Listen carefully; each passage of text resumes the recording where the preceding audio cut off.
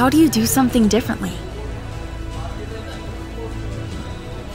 Some people pursue education. Others become entrepreneurs or innovators.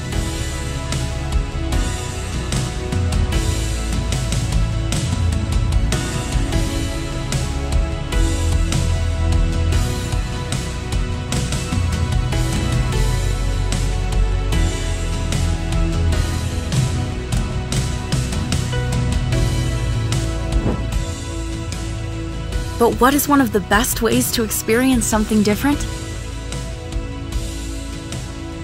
Learn from the innovators themselves.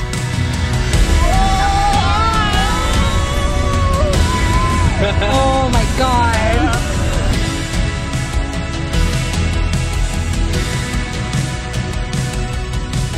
Doing something differently isn't limited to your test scores or memorizing information.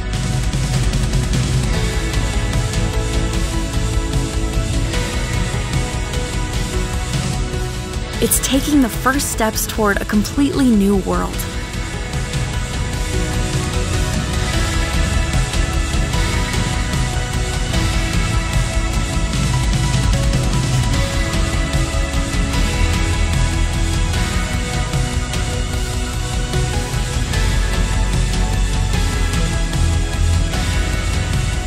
The world is not a major in college, and neither are you.